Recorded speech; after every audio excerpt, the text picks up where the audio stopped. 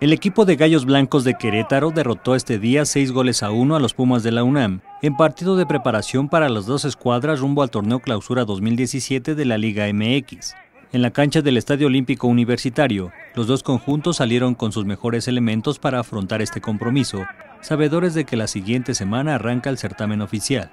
El compromiso se efectuó en cuatro tiempos de 35 minutos, así que los técnicos Juan Francisco Palencia y Víctor Manuel Bucetich tuvieron la oportunidad de probar a diversos elementos y formaciones de juego. Primero se midieron los jugadores titulares para que Gallos Blancos se quedara con un triunfo de 2 a 1. Los medios de comunicación tuvieron la oportunidad de apreciar los primeros 15 minutos del cotejo. Puma sufrió así su tercera derrota de la pretemporada, ya que antes perdió contra su filial sub-20 y Santos Laguna. El sábado, Universidad Nacional se medirá a su equipo de segunda división para cerrar su preparación de cara al clausura 2017, mientras que Querétaro terminó con sus encuentros amistosos para arrancar el certamen el 6 de enero contra Tiburones Rojos de Veracruz.